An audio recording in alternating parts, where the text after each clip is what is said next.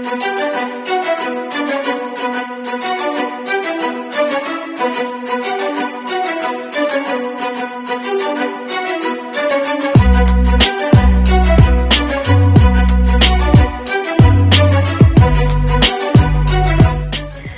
you for tuning in to Mount Calvary Holy Church Family Worship Center with Bishop Elvin Mickens. Please enjoy this series of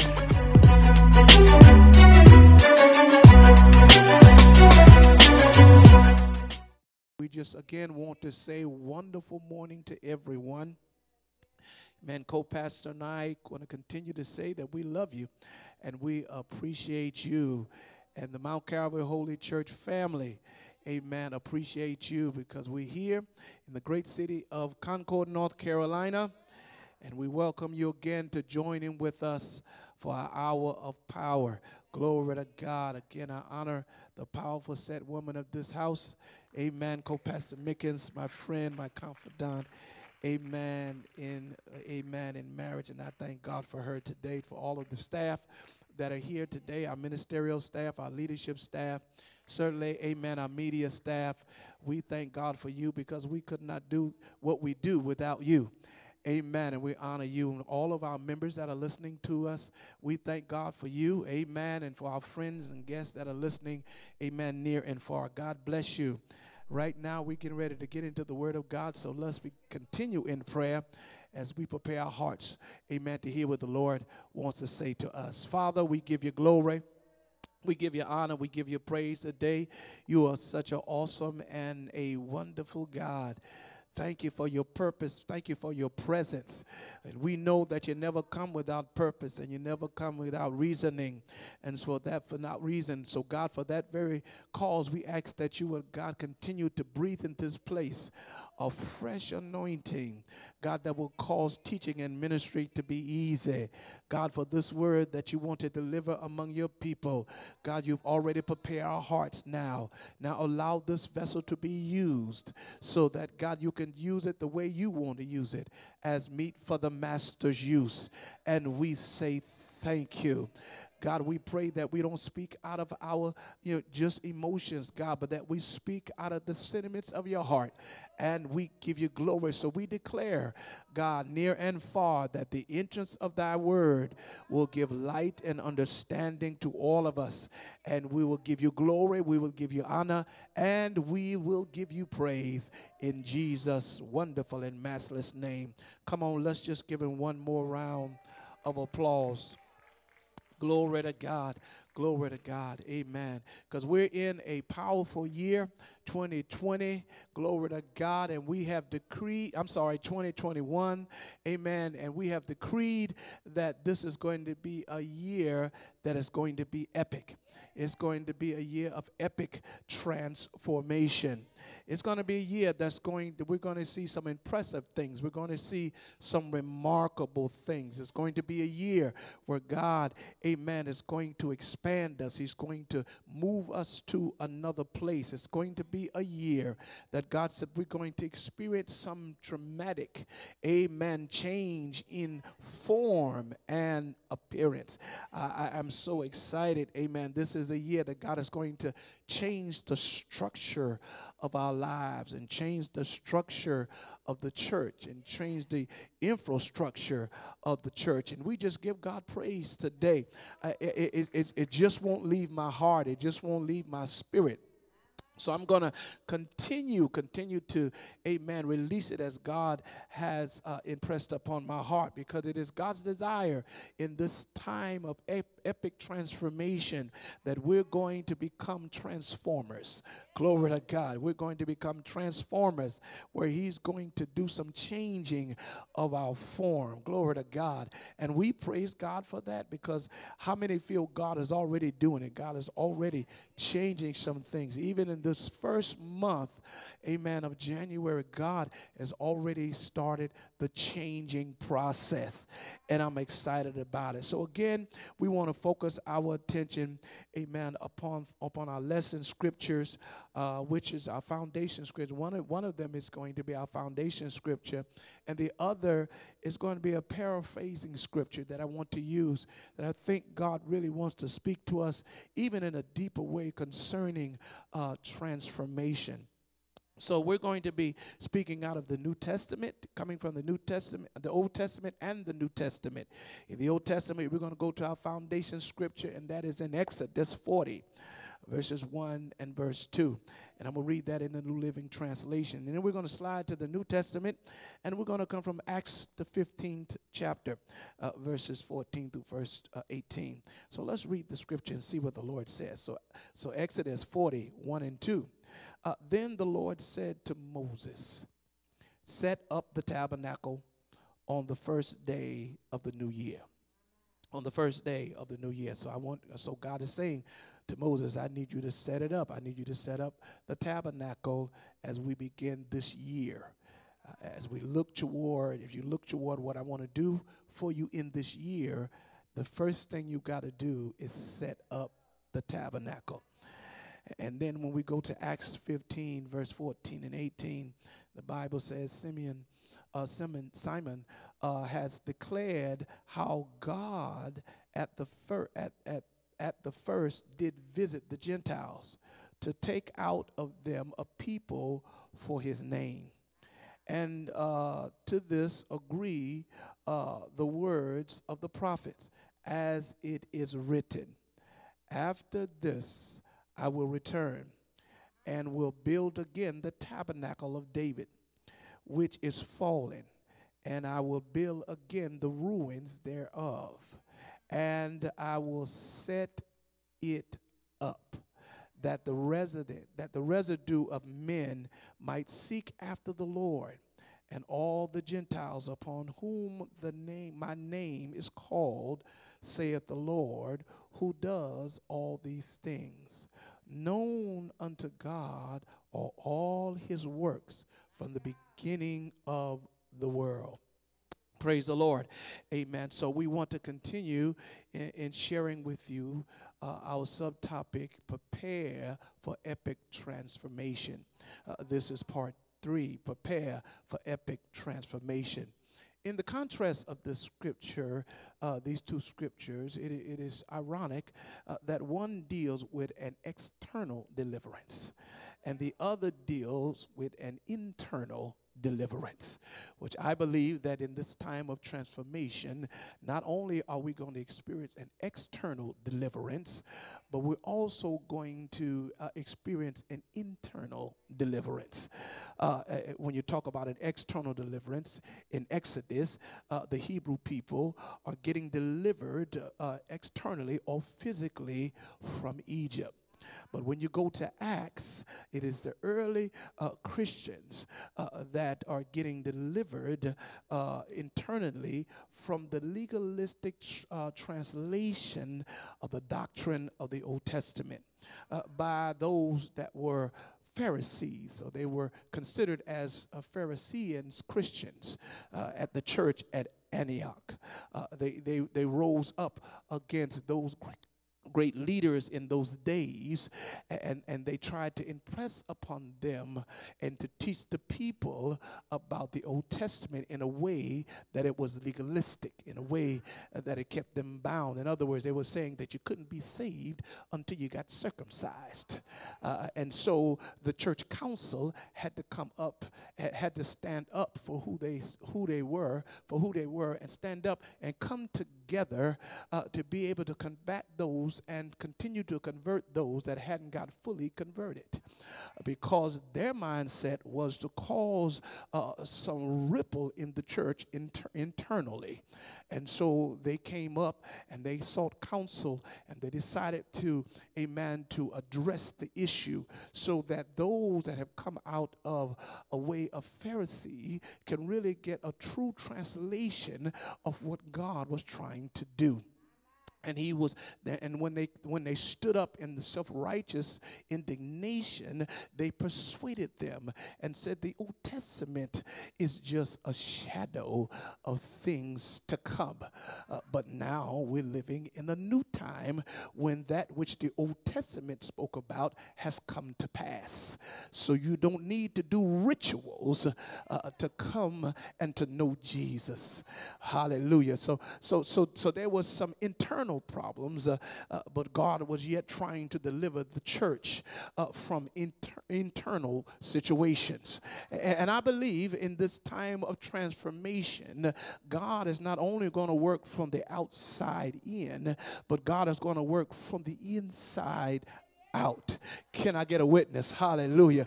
Oh, you're going to see a transformation of the church. Now, when I say the church, I'm talking about the saints. I'm talking about uh, those that are believers. I'm talking about those that are born again, those that are filled with the Holy Ghost. Because even though you're filled with the Holy Ghost, there's still room for deliverance. Can I get a witness? Oh, no, no, we're not there yet, baby. Hallelujah. You won't get there until you meet Jesus for yourself. But while you're on your way, glory to God, we always need a little more deliverance. Hallelujah. So not only is God going to deliver us uh, uh, physically, uh, amen, but God is going to deliver us internally. Can I get a witness? Hallelujah. So therefore, that's why I want to approach this word uh, transformation from a different uh, perspective from how we have been teaching in the past. I'm not saying that the past was wrong, but I just want to bring a little more clarity to what God wants to say concerning uh, epic transformation. Mm-hmm. So we want to explore, amen, not only this word transformation, but we want to look at the intrinsic nature of it. Uh, uh, the, we want to look at the character of this word called transformation. Glory to God. And I ask God to reveal, amen, this to me in such a distinctive way. And God said to me, uh, transformation simply means changing your formation. Glory to God. And I say, Thank you, Lord. I, I got it now. You, you, you, know, you gave me some more insight. So if I'm going to continue to transform, I've got to change my formation. Yes, I do. Amen. I got to change it according to the plan of God. I've got to change it according to the plan of God. And we have to change according to the plan of God if we're going to continue to be named his people and the church. So, uh, just for a quick insight, when you talk about transformation, it simply means to change uh, your, uh, uh, uh not only just your destiny but it means to change uh, to your true purpose, your, your true assignment uh, in, in, in life. So as we continue to flow in this month, amen, of 2021, we want to approach this word transformation again from uh, the components of translation, rotation, reflection, and dilation. Glory to God. And so we want to again jump into uh, translation as it relates to transformation. Glory to God. Because we're we're in uh, translate. We, we need to translate the process of what God is really talking about when He says uh, ep- when He speaks to us concerning epic transformation.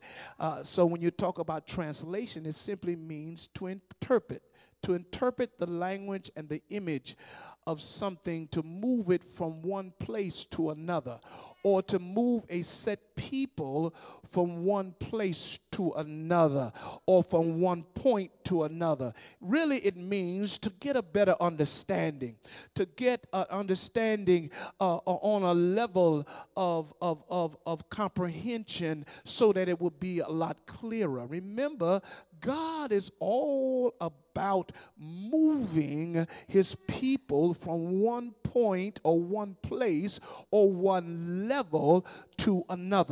That's why he says in his scripture that he moves us from faith to faith because God does not want us to remain in a place. He wants us to continue to progress forward.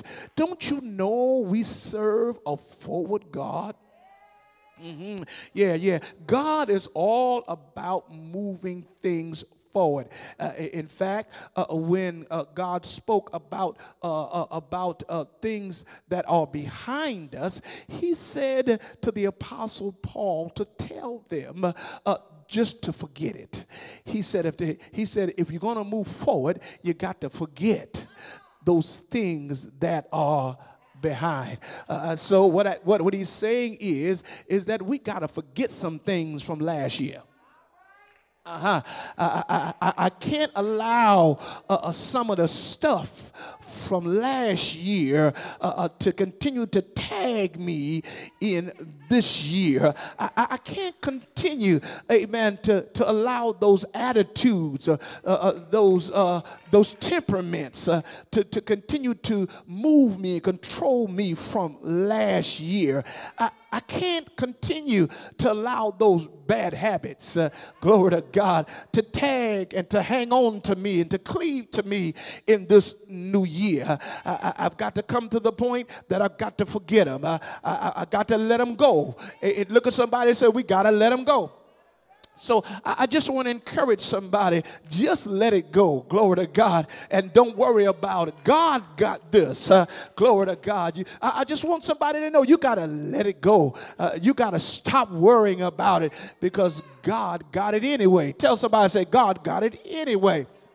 And so we have to look at what God is really doing and what He really wants to do in this moment and in this time as we continue to move forward. So, just to highlight a few things again about this tabernacle, God made and constructed this tabernacle. He wanted to to construct it to allow his people to experience a, personal preparation for epic transformation.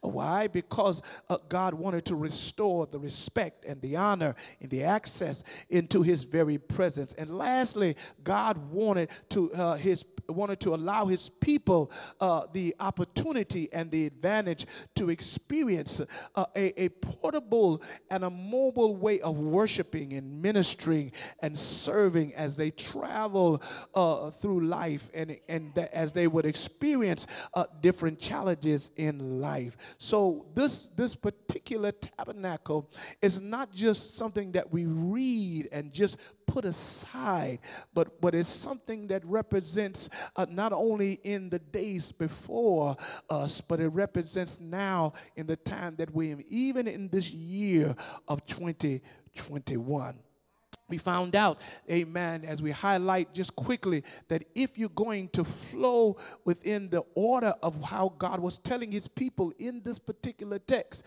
there was some prerequisites. And we tapped on them, we got into them uh, uh, uh, last week. And those prerequisites, well, God wants you to listen, God wants you to receive, God wants you to obey, God wants you to, to follow instructions. And then God wants you to build what he instruct you to build, or in some cases, cases, He wants you to rebuild for relevant results. Uh, we spend a lot of time trying to gain, uh, we spend a lot of time rebuilding things uh, uh for self gain in life, but uh, uh, which is less, which is less to the benefits of others. What God wants us to understand that we are now called to build his church and to build our life so that it will be, be a relevant result to someone else.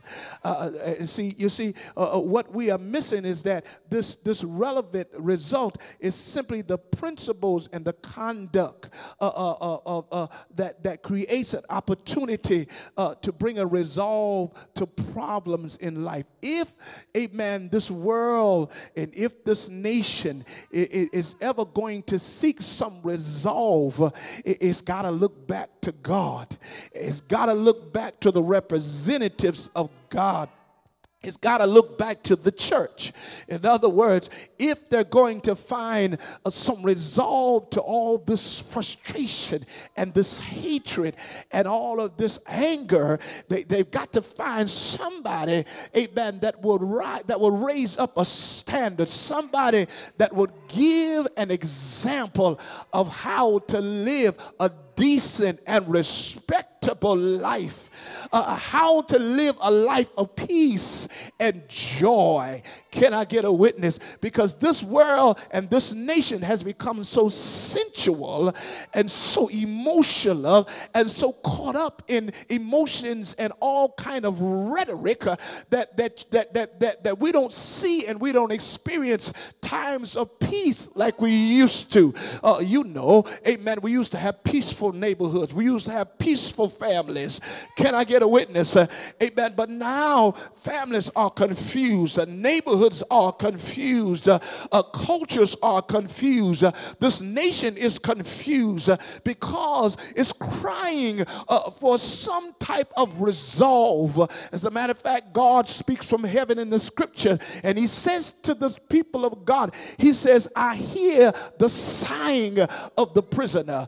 there are some people, amen, that, that are in this nation, that are around us every day, there is a sighing. Uh, uh, there is a sound beyond the sound. It's a sound beyond their face. It's a sound beyond their actions. It's a sound that we need to understand that their sound that says, I am in prison and I need help. I need somebody to show me the light, somebody to show me the way. I done spend my money. I done been to the psychiatrist, but I still didn't get everything I needed. Uh, and I need something internally that's going to help me mentally. Can I get a witness? Because no matter how much we get help mentally, it's really, it really goes back to the eternal.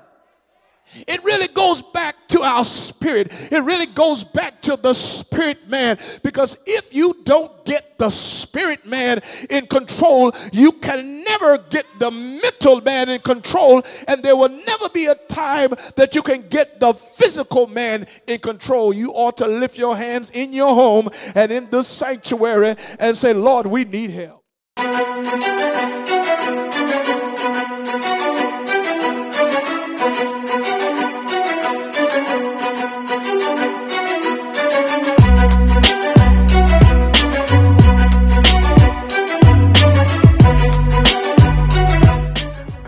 The Lord.